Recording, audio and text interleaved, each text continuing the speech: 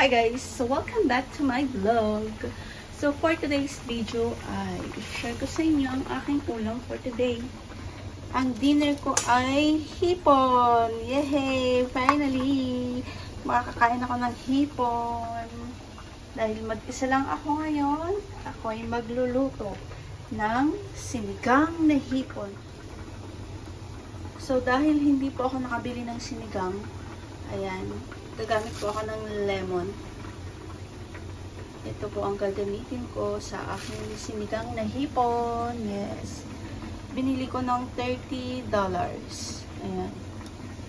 And then, yung lemon is $10 for apat na piraso. Ayan. Ito na siya. Kumukulo na. Ayan ko lang maluto yung kamatis. Then after that, ilalagay ko ang sibuyas. Ganyan po ako magluto. And then, choysa. Ayan. So, nagluto na din ako ng kanin. Naantay ko siyang maluto. Sakto, pagluto ng ulam. Okay? So, sabayan akong kumain today. This is my dinner. Tada! So, nilagay ko na yung gulay. At bali, naglagay ako ng tatlong lemon. Ayan, yung isa iniwan ko.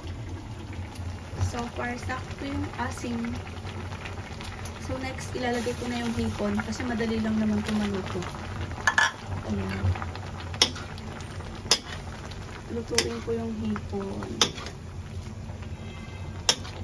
So this is my dinner.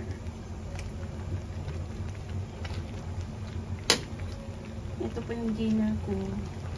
Kasi mag-isa lang ako today. Hindi ko trip yung ulam na iniwan sa akin. So, nagluto ako ng dinner ko. Ayan yung kanin. 4 minutes. Dapat na din maluto. Time to eat!